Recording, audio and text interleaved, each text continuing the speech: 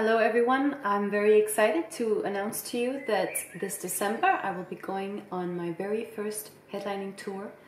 Uh, I will bring my band and I will bring special guests and we will be playing in Scandinavia, in Eastern Europe, in the UK, in other countries in Europe um, and we'll perform uh, from my two records and also traditional uh, folk music.